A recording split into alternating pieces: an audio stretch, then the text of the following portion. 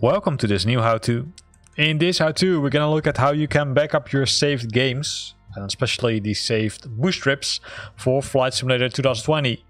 Uh, there is some documentation available on the internet including the one from Asobo but I do think that there are some errors in the document so let me show you where you can find it right so the things which we're talking about is really I would say the bush trips so the bush trips right uh, in most cases they will I would say contain different parts. So in this case, for example, the uh, airport to uh, airport contains, I would say, roughly, or not roughly, 17 uh, legs. And it would be nice that if you can that you can keep this saved game, right? So in worst case, uh, if you need to reinstall Flight Simulator, uh, you might need to back up it this content because it's not part of the cloud save. So some of it, like for example the uh, track time, so the, the logbook, that's part of the cloud save.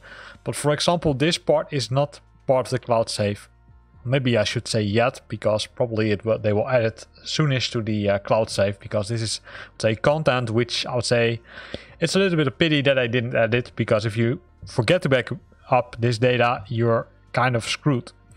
So to be clear, we're talking here about the store version, right? So not the Steam version, but the store version. For the Steam version, you need to, I would say, back up a different directory. So now we discussed this, let's uh, go to the uh, directory where you can find it, right? So according to Asobo, it should be in you my, your My Games directory. But as you can see, there's no uh, directory here, which is Flight Simulator or anything else. So that's when I thought, okay, hey, but why would it be there? Because there's already a local cache folder, which is the Flight Simulator folder, containing a lot of folders, right? Including the packages folder, which by default contains the community folder, but also the one store folder, which are the packages which are included for Flight Simulator. For, for example, the world updates, but also the airplanes, but also the default content, but also the community add-on add-ons, right, which you might have installed.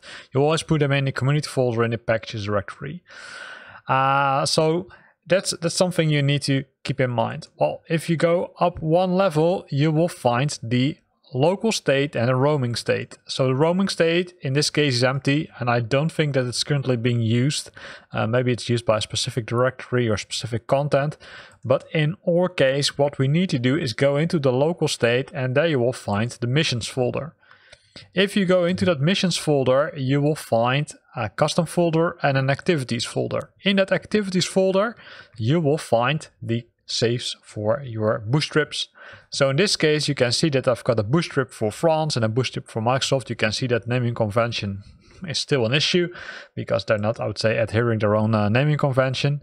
But if I go into this one, I can see both the uh, cloud save, which contains the flight plan, the SPB file, and the WPR file. Uh, the, so this is the this is for the weather data, and the other ones are for the saves. And you, I can see another one which contains exactly the same files. I'm not sure why it's uh, stored twice.